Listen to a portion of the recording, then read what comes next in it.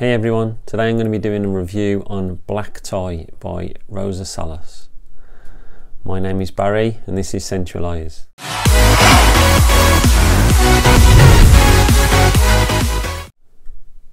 So, Rosa Salas.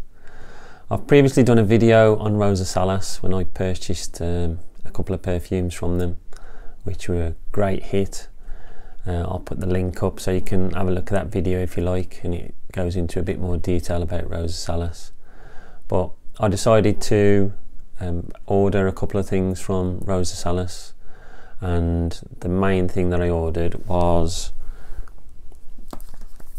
black tie this is the presentation that it comes in and this is their interpretation of YSL's tuxedo.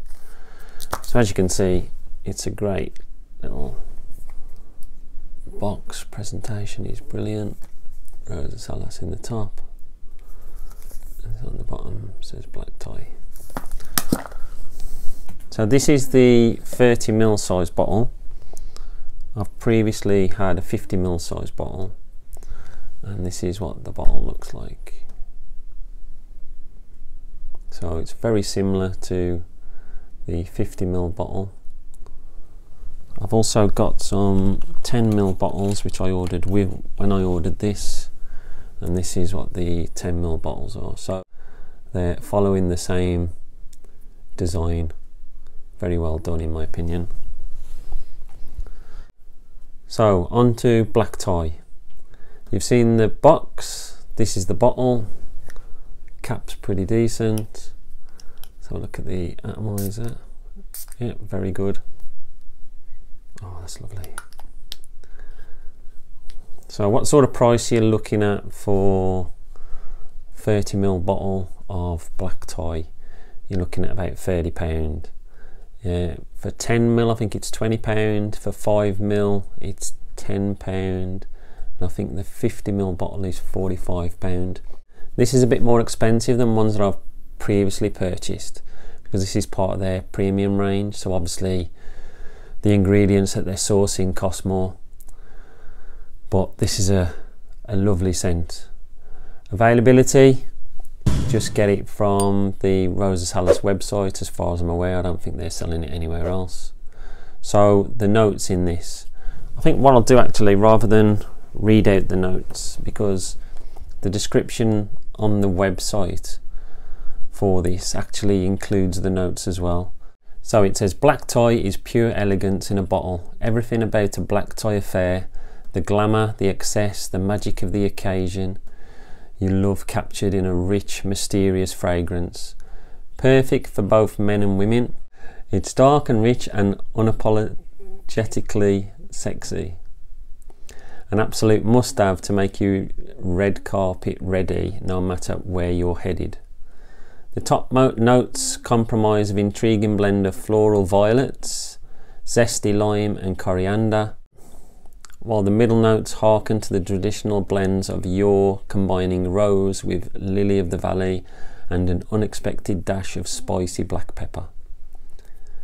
Things darken when you get to the base notes with the unmistakable essence of ambergris, sensual patchouli and creamy vanilla. Black tie encapsulates all the fine details of a special occasion from the rich fabrics to the high sheen glosses to the sound of heels hitting pavement. A perfume this special should be the last thing you put on before leaving, whether it's for the most formal of, of occasions or to add some elegance to your everyday get-up. So that covers the notes. I will list the notes on the screen anyway. So is this lineal? I would say not.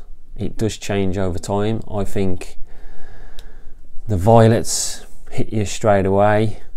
Then like a rosy pepper smell comes through and then it gives out a, a cocoa vibe. It's very thick in the base there's patchouli and the vanilla. I think that might be causing the cocoa vibe. Plus you also get a bit of a boozy note from it. Now it doesn't list booze in the notes, but I'm pretty sure there's one there. Whether it's the alcohol anyway, but it does, whether that's reacting with some of the notes and it's creating a more of a boozy note, I don't know. Projection on me, it was about three hours or so, maybe a little bit more, maybe a little bit less, but it, I would say on average about three hours. I wore this on three separate days. Sillage was very good. Uh, longevity, a good eight hours plus. Um, last even longer if you spray, spray on clothes. When to wear it, I think this is definitely a, a winter, autumn scent, maybe even like kind of cold spring day. Um, and I think you're looking at more formal occasions. Now, it did list in the description for everyday get up. I, I personally wouldn't wear this every day, and it is more for that standout occasion. Compliments, I didn't get any compliments directly. I did ask a few people what they thought of it, and they were all very complimentary about the smell. So, overall, it's a very good, creamy, boozy, and woody scent, and one that I would highly recommend. So that's black tie. I also at the same time ordered a couple of 10 ml bottles. There's one here which I ordered which is called 019 Jardin de Mar. I've probably butchered that name. But this is a very nice summer scent for me. Um, it's got fresh, lemony, it's got lots of citrusy zest in it. Um, it's got a boozy undertone to it, very nice. I also ordered a. Oh, by the way, that is their own creation. I don't think that's a copy of anything. I might be wrong, but I think that's their own creation. I also ordered 033 Au Paradis which is their interpretation of By Kilian's Straight to Heaven, and it's a fantastic scent. It's really nice. It's a dark, boozy scent. It's so beautiful. And then Vitor very kindly sent me four samples. I'll quickly run through those samples. He sent 066 Freaky Ace, which is a interpretation of Tom Ford's Effing Fabulous, which I really enjoyed. 010 Fantome Sombre, which is a version of By Kilian's Black Phantom. Now, I showed a guy at work and straight away he said, I want to get it. So he placed an order with Rosa Salas. That's how good this smells, and this will definitely set you apart from the crowd. He also included 021 Gladiator, which is their take on Invictus, and it has got exactly the same Invictus DNA. It's really, really nice.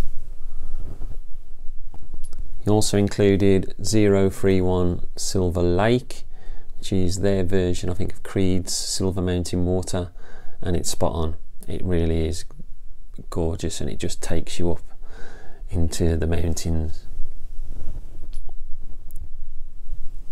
Now, this one 036 Rio Douro. This is their version of Creed's Virgin Island water. And if you haven't smelt Creed's Virgin Island water. It is coconut, citruses. It is just picture yourself lying on a beach with your coconut smelling suntan lotion on. It is it just takes you straight there. It's gorgeous, absolutely gorgeous, and it's probably the best um, interpretation I have smelt of it. It's really, really nice.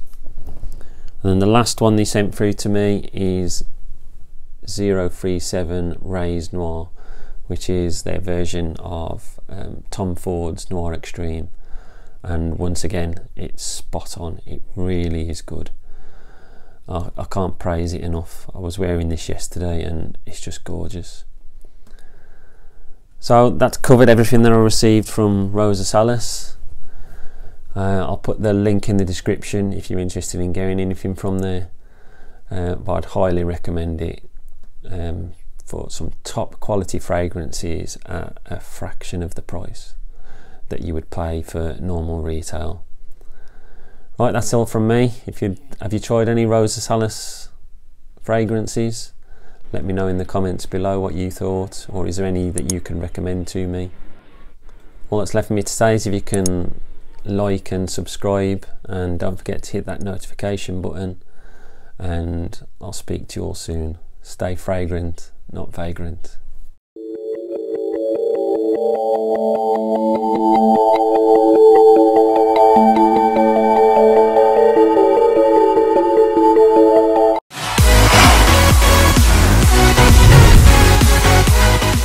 It's dark and rich and unapologetic. It's dark and rich and unapologetic.